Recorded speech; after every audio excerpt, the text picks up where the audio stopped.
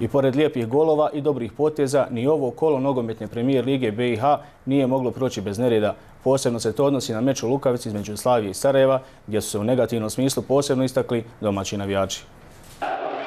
Na terenu sve fair, sportski i korektno, ali na tribinama i to na dijelu gdje su smješteni domaći navijači, fašističko, sramno skandiranje koje je barem kada je Lukavica u pitanju čini se neizostavni detalj.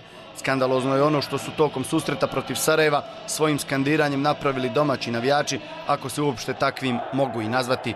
Svojim skandiranjem vrijeđali su žrtve genocida, veličali ratnog zločinca, vrijeđali ubijenog navijača Sarajeva, a uvertiru je napravio navijač koji je na terenu trčao u 15. minuti. Nakon njega ušlo je još desetak huligana, a policija je kasno reagirala, a predvodnik incidenata uspio je i pobjeći organima reda.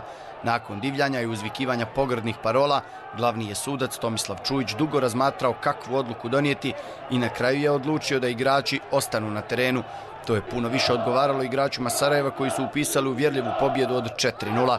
Ipak sada je na potezu Nogometni savez Bosne i Hercegovine, tačnije disciplinska komisija, ali i komitet za normalizaciju koji drakonskim i žestokim kaznama ovome i ovakvim sličnim situacijama mora stati u kraj. Primjera radi Beogradski partizan je zbog sličnih povika s tribina kažnjen sa deset utakmica igranja pred praznim tribinama. Futbalski stadion je mjesto gdje se podrška daje svom timu, svojim ljubimcima koji nose dres voljenog kluba, a ne mjesto gdje se vrijeđaju žrtve genocida, ubijeni navijač i stadion nije mjesto gdje se veliča ratni zločinac. Kada to svate pojedinci, kada kazne budu drakonske, možda nam i futbal krene uzlaznom putanjom.